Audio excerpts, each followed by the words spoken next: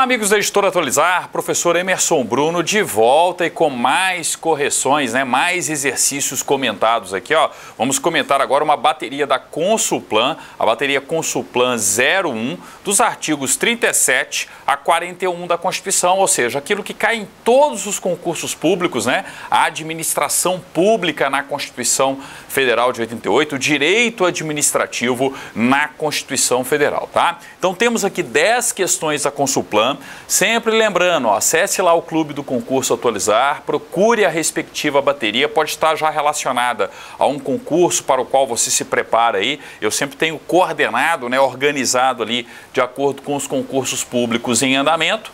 Coloca o seu e-mail, tá certo? Tá? Então aqui já coloquei e aí passe a responder as respectivas questões. Então vamos lá, ó. Questão de número 1, um, TRF da segunda região, técnico judiciário, Consulplan 2017. Essa prova aqui surpreendeu muita gente, tá? Muita gente chegou até a comentar que a Consulplan está se aproximando mais do jeito CESP, jeito FGV de elaborar questões. E realmente, eu tenho um texto onde você precisa interpretar a questão como um todo e marcar né, a correlação com o dispositivo constitucional, com o dispositivo do artigo 37 a 41 correto. Então vamos lá, ó. Edinaldo, servidor público estável, titular de cargo de provimento efetivo, teve séria discussão com seu superior hierárquico. Ó, sempre que vocês forem resolver questão do tipo, grifem essas características aqui, ó. Ele é titular de cargo de provimento efetivo, tá? Então ele é um concursado, tá certo? Então, ó, Edinaldo, servidor público estável, titular de cargo de provimento efetivo, teve séria discussão com seu superior hierárquico.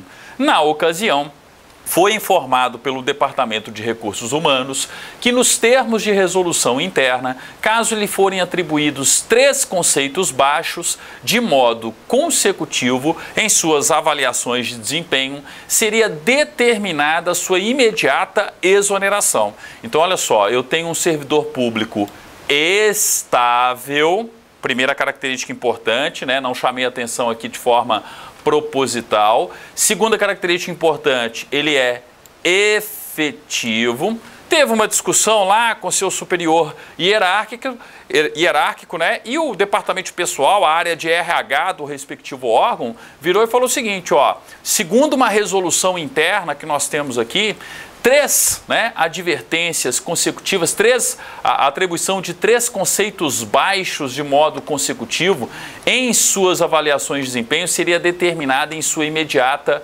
seria determinada né, a sua imediata exoneração. Então eu teria exoneração do servidor em virtude de três conceitos baixos de modo consecutivo. Só que um detalhezinho aqui importante, ó, que vocês precisam né, grifar na questão aí também, ó. Isso foi instituído através de uma resolução interna.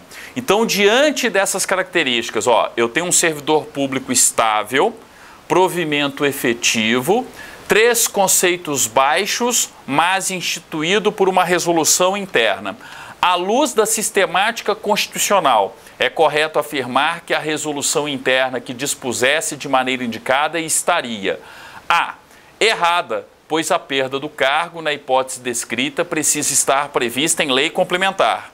B. certa, desde que sejam assegurados o contraditório e ampla defesa. C errada, já que o servidor público estável somente pode perder o cargo em processo administrativo. E letra D, certa, pois compete à administração pública zelar pelo princípio da eficiência, exonerando os servidores que não atendam. E aí, qual que é a resposta? Dá um tempinho aí para vocês raciocinarem, mas quem já leu a Constituição Federal e, sobretudo, o artigo 41 da Constituição, mais especificamente o parágrafo 1 do artigo 41, já teria marcado a opção, a letra A. E vejam só por que a letra A é a resposta da nossa questão. Já separei o espelho de prova aqui, ó, os comentários que eu já havia colocado para vocês, ó. Olha só o que, que a gente tem no artigo 41 da Constituição. Detalhezinho, tá? Consulplan adora o artigo 41, diversas questões Consulplan é, relacionadas ao artigo 41, ó. São estáveis após três anos de efetivo exercício os servidores nomeados para cargo de provimento efetivo em virtude de concurso público. Ok. Parágrafo 1. O servidor público estável só perderá o cargo. Aí vejam só o inciso terceiro, ó. Mediante procedimento de avaliação periódica de desempenho na forma de lei complementar assegurada ampla defesa. Então, realmente, ó, eu não posso ter uma resolução. Entenderam o erro aqui, ó? Uma resolução, ela não pode dispor como que vai ser o procedimento de avaliação. O procedimento de avaliação que pode acarretar, inclusive, a demissão do servidor estável, tá?